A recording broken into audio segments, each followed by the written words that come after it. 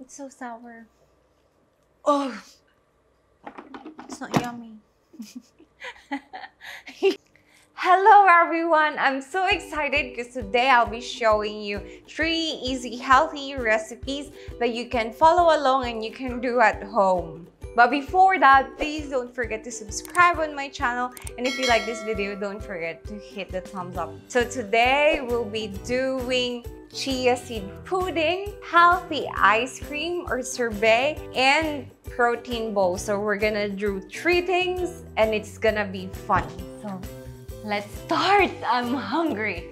So we're gonna start with chia pudding. You will only need three ingredients. It's gonna be easy. You will need chia seeds, of course, as this is gonna be our main ingredients. You can find this in natural health food stores or maybe in other supermarkets. I'm gonna do a non-vegan recipe. So for non-vegans, you will need the chia, you will need milk, and honey. But for vegans, you can replace the milk with almond milk and replace the honey with maple syrup. Let's start. So first, you will need 2 tablespoons of chia seeds. You put it in a cup. One more. And you're gonna add half cup of milk in that. And if you want to make it sweet, so just add a bit of honey in it and just keep stirring it. It's really important to stir it to separate all of the chia seeds from each other. So just keep stirring it and then wait for one more minute and then you stir it again before you put it inside the fridge and wait for maybe 4 hours minimum to let the seeds absorb all of the milk. And it'll be the pudding. Now that it's done, we just have to wait for 4 hours and let it sit in the fridge. That's it, it's very easy. Next one. So the second recipe will be the super yummy, my favorite, ice cream. I love ice cream. I can eat it every single day if I can. So today we'll be doing raspberry. I have some blackberries. I have lychee and I have kiwi. I think I'm gonna combine this both. You can do this at home. It's very easy. You will need a blender or a food processor to help you with your, your ice cream. So I'll be using this. I bought it. This one. It's very cheap. Very, very cheap. This one is from China. It comes from China. That's why. It comes from China. Let's start. Okay, so first you have to put your frozen fruit, which is, I'm gonna start with my cranberries. So you will need a lot. Yum! The next one, I added 1 4th cup of yogurt. So you can add Greek yogurt or just plain yogurt. And next one, I'm gonna add a bit of honey to just give the texture, to make it a bit thicker. So it's important to, you to use a frozen fruit for the texture to be thicker. So if you don't have any frozen ones, just cut, just buy berries or banana and freeze it overnight and then do it the next day. And also, I'll be adding um, you know, one teaspoon of lemon.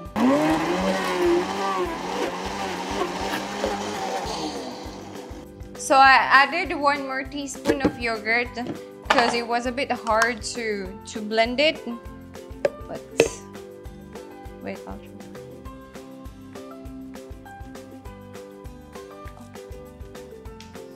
It's so sour. Oh,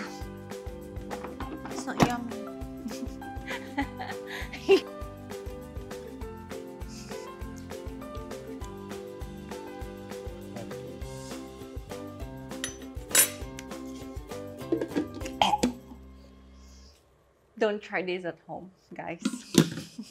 Voila! You can eat it now because it's already thick. So this is the texture. But I'm gonna eat it later as I'm gonna do more flavors.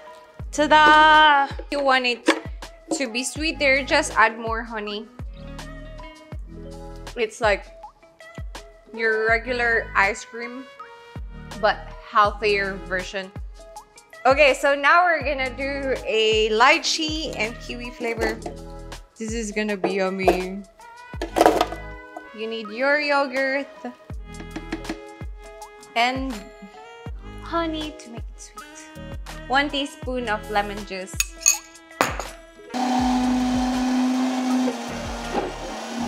One eternity later. Okay, let's see and try it. I know it's gonna be yummy.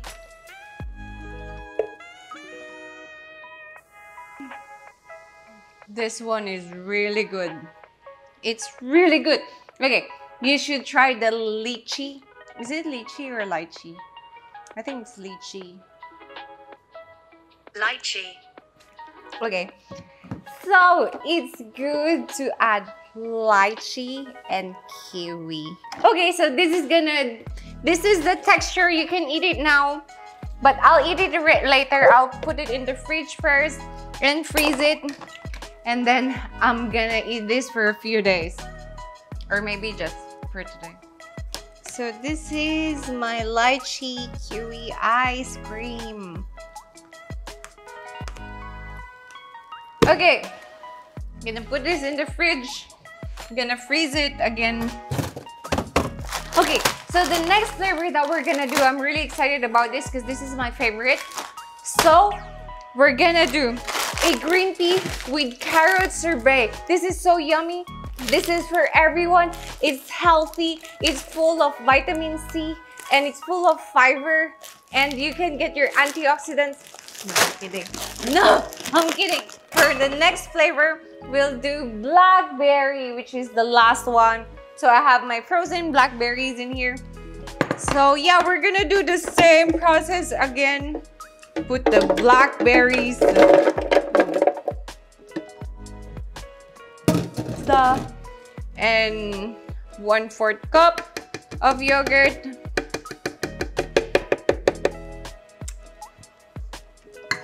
And teaspoon of lemon and honey. It looks so good. The color is so pretty.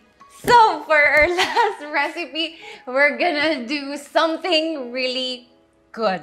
My another favorite, which is protein bowl. This is easy. You wouldn't need to bake it.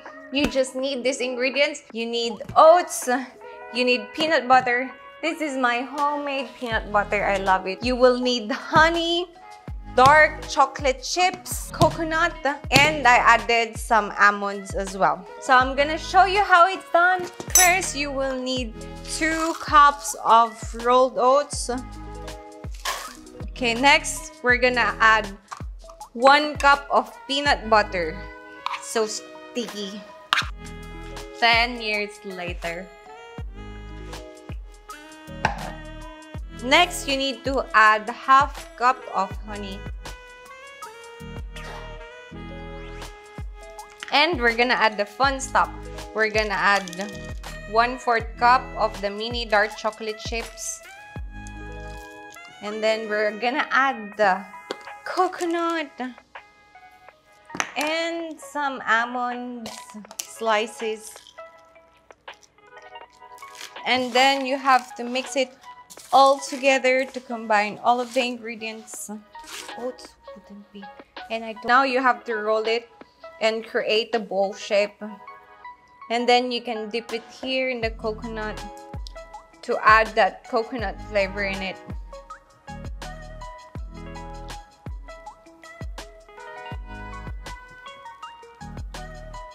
It's done, guys. So this is my chia seed. I made it this morning because I know that when I do it, I have to wait for a few hours for the seeds to soak the milk. As you can see, it's already very thick inside. So that's how it should look like. So what you can do is you can do it before you sleep and then just wait for it, like soak it for overnight. And then the next day you can have it for breakfast. Ta-da! So what I love to do is I love to add some berries or fresh fruits on top of it. You can add nuts, so it's really up to you. This is my chia seed pudding. Let's try it.